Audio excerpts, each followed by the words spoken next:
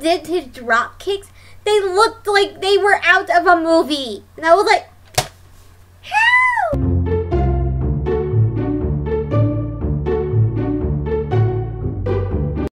Why, hello there, everyone. My name is Alyssa, and welcome back to this glorious YouTube channel. So, today, um, I'm going to start wrapping up my G1 series. So, like I said, I do an A block and a B block. Um, so tonight it's going to be nights 9 and 10. We're almost done. Um, I kind of want to do videos every day leading up to Power Struggle for this. Because I think it could be fun. But I don't know how that's going to work because marketing stuff, yeah, whatever. Okay. Um, so, yeah. Today, we're going to start wrapping up. Um, so I guess if you don't know what the G1 is, I, um, or if you haven't seen any of my other G1 reviews and you still want to go back and watch them, I'll have them all in cards, like on the side. Right around right here. Um, and yeah, so I guess, shall we get the show on the road?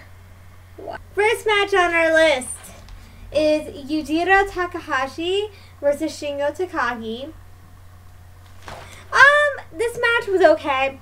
Didn't think it was that bad. Very surprising for Yujiro. But, I mean, also, you're in the ring with Shingo. So, of course, regardless, you're going to get a decent match.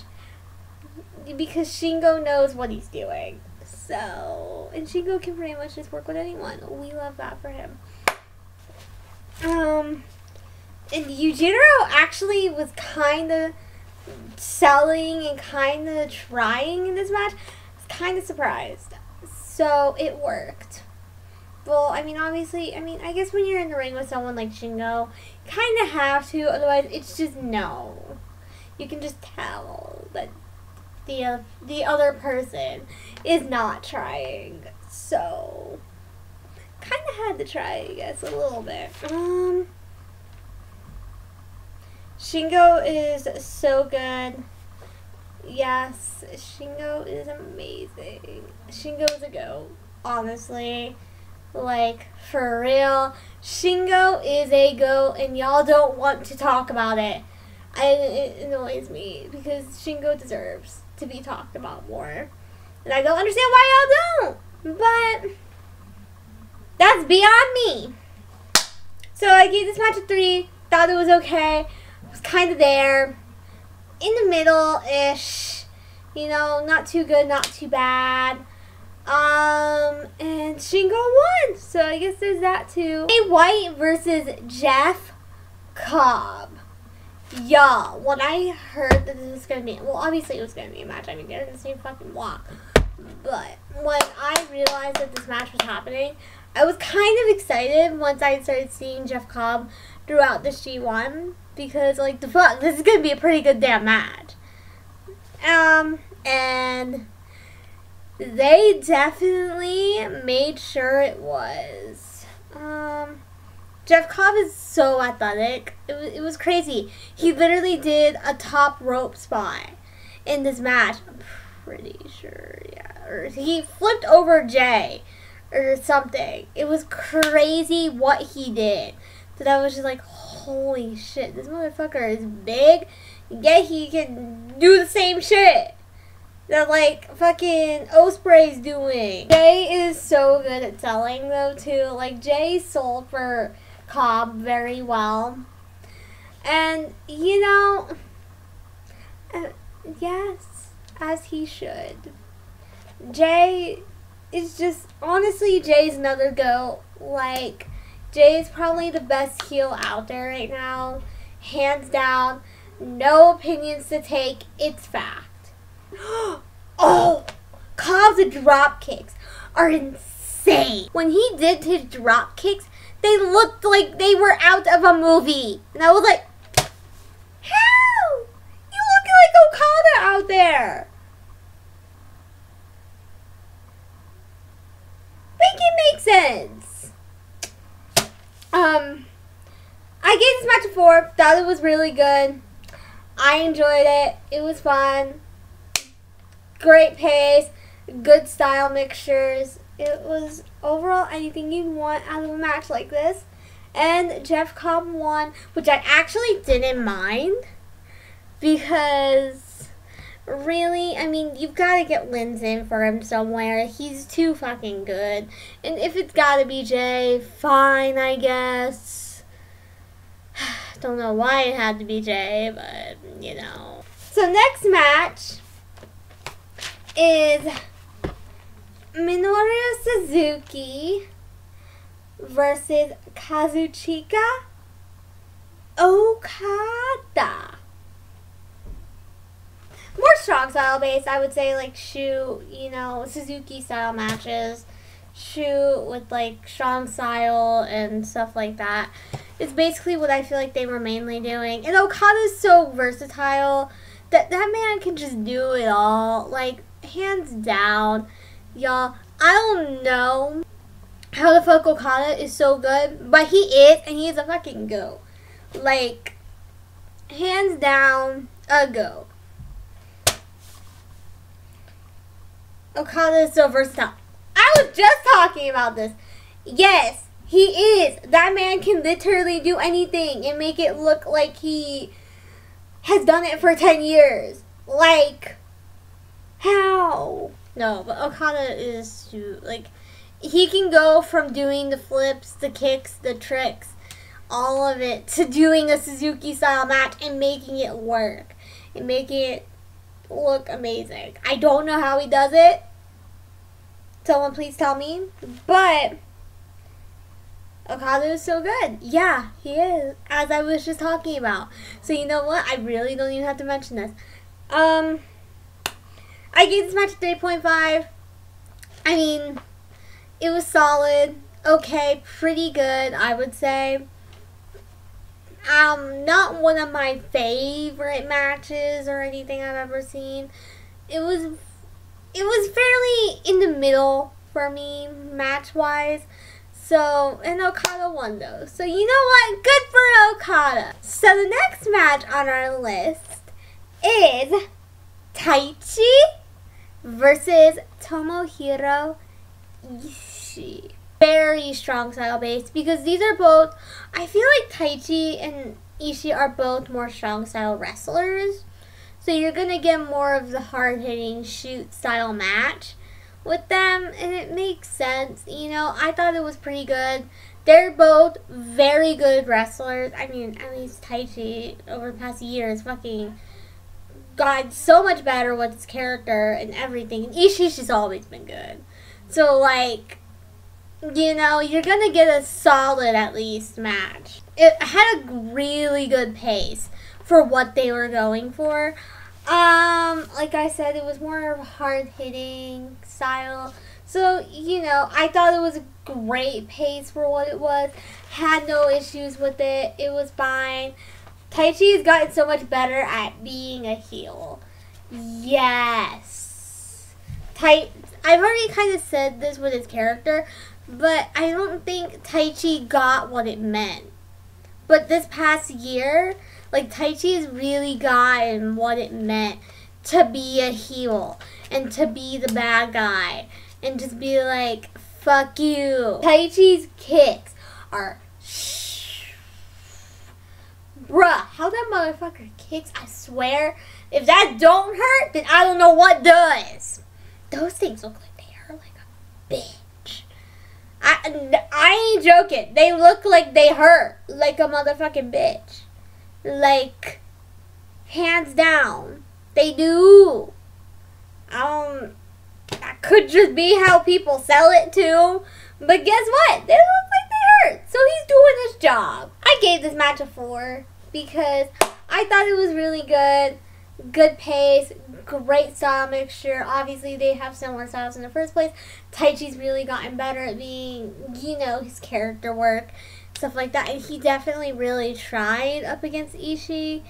And you know what? Ishii won, which I'm also happy about because Ishii, like I said, I'm glad that even if we all know Ishii isn't going to win the G1. They're not going to give him the championship ever. Sadly, he deserves it, but they won't do it. Gedo.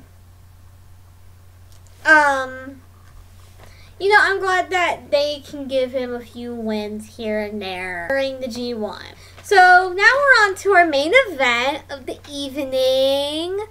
We have Will Ospreay versus Kota Ibushi. So it started off very strong style. I was very surprised because I thought it was going to be more of like, you know, the pace of like, you know, I thought it was going to be definitely a different pace than what it was at the start. I was very surprised. But I guess, you know, you kind of don't want to wear yourself out like that in the beginning.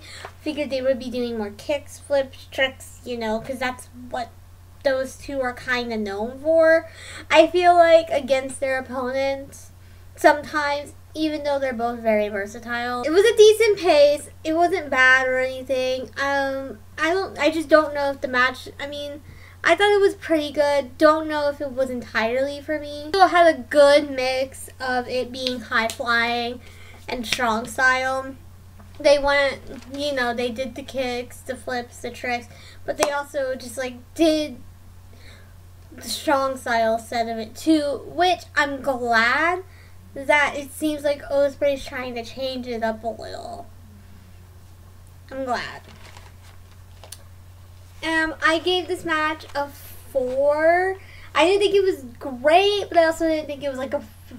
I didn't think it was fantastic, but I didn't think it was a five worthy. And it definitely wasn't a three worthy, because I feel like three's mid and it was a little above mid, you know. So I gave it a four. Um, and Ibushi won. Good for him, I guess. Okay, so now we're gonna move on to B block. And our first match on B block today is Toru Yano versus Hiroki Goto. Very sneaky. Although actually, kind of outsmarted Yano here, which you don't typically do. Very, very interesting. See how that one goes. Um, very fast. Um, didn't go on long at all. Um, and Goto one. I, yeah, sure, I guess. Don't know why, but it was. Uh, they had Goto pull a Yano on Yano, which was kind of dumb. I gave it a two. Because, I mean, why the fuck are you to have Goto, of all people, pull a Yano on, a, on Yano? Like, that's stupid. Um, Sanada versus Zack Sabre. Y'all! If there was a match that I was waiting for this whole G1, this was it! yes! This right here was it. It was a masterpiece. we love masterpieces. Like, what the fuck? Um, very fast pacing. Um, especially for their styles. I was very surprised. But they also did do a lot of submissions. And they are definitely both submission specialists. It is quite funny seeing these two in the ring together. Um, I I always enjoy it. Never have I complained about having to see Sanada go up against Zack Sabre because they're both so fucking good at what they do and it's just it works so well. They play off of each other so well and have such good chemistry that it's just anytime I can see this, I want to see it. Give me 10 or 20. Sanada's agility is fucking nuts. His Muda moonsault. Holy shit. That motherfucker can go. It is literally the most insane thing. Like, he's so big. Yet, you see him doing flips and it's crazy.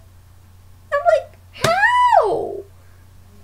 I gave this match a five, obviously. Couldn't tell. I really like this.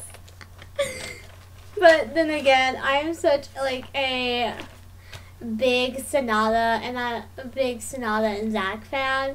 It's just like anytime that those two can go up against each other too, hey, I'm here for it. It works for me. And Sanada won. No complaints here. No complaints. None. Zero. Zilch. Match the G1. There you go. Um, so, our next match on the card is Evil versus Juice Robinson. I really don't want to talk about this. Ah! Okay. Evil started off okay. He was buying at first. Juice kind of made the match, though, for me, to be honest. Like, he was the one that really went for it. And then there's Evil. and It's just like, nah, nah, how? Juice, yeah, like I was just saying, Juice was trying to keep up the pace. He tried. That man tried so hard because throughout this whole G1, he's been so excited to even just be doing this. And his new character, like, just, I'm in love with Juice's new character. I've said this 10,000 bazillion times now. But y'all, it's the truth. Juice really fucking brought it for this match. Even though Evil didn't, Juice did. And you know what? Good for Juice. If that's what he wants to do for Evil, I can't complain. Try to put him over. Even, but the thing is, it's like I always say, you can't put someone over if they don't want to put themselves over. I gave this match a 2.5 because Juice really tried and Evil tried a little in the beginning, I guess.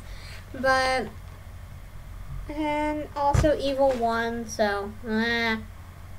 Sure. Nah. Okay. So the next match that we have that we have here is YOSHI-HASHI versus Tetsuya Naito. Slow, very slow, hands down. YOSHI-HASHI is so slow, and then Naito can't. It's just it doesn't work because it's not like YOSHI-HASHI can do anything. Number one and number two, Naito has a very specific style, and it just don't work.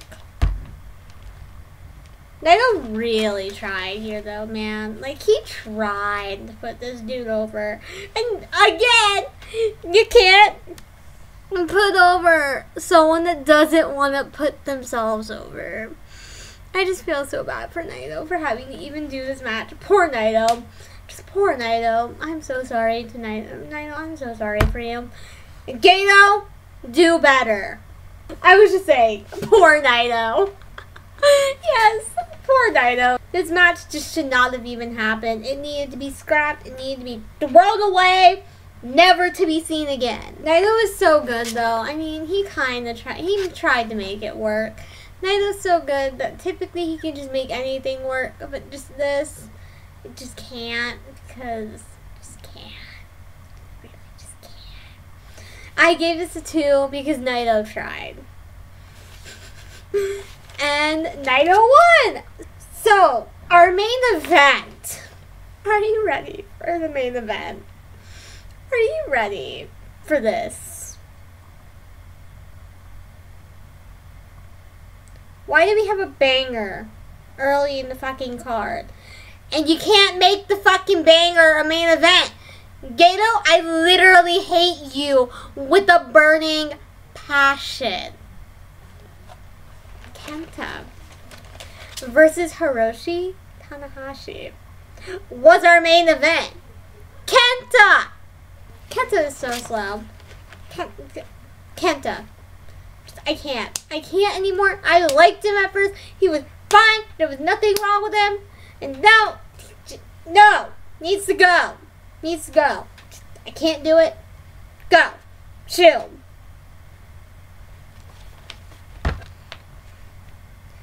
Tanahashi is high key selling for him though. Like, y'all, he true. Tanahashi really tried to sell for this motherfucker, and I don't know why. Like, it don't make sense. Like, sure, Tanahashi tried to sell for Kenta, tried to put Kenta over, but, like, it's not gonna work. Kenta's gotta do it himself. Even if you can try to put him over. Tanahashi tried to keep up the pace here. He tried. Tanahashi tried. And you know what? Good for Tanahashi. I feel so bad for that man. That poor man. He takes three months off to get better. And he comes back to have to do a match with Kenta. I feel so bad for Tanahashi. I feel so bad. I'm so sorry, Tanahashi. I gave this match a 3. Because you know what? Kenta did try a little, and Tanahashi really tried. So you know what? It was mediocre at best. And Tanahashi won. So, go away! Okay, well, that's it for today. Um, let me know what your favorite match was from this from these two nights down below. Also, let me know if you're excited for Power Struggle. Um, eh, we'll talk about it. Um, but yeah, let me know your thoughts. If you like this video, be sure to give it a thumbs up. If you like my face, be sure to subscribe. And if when I upload is that important, be sure to hit the notification bell somewhere over there. Bye bye.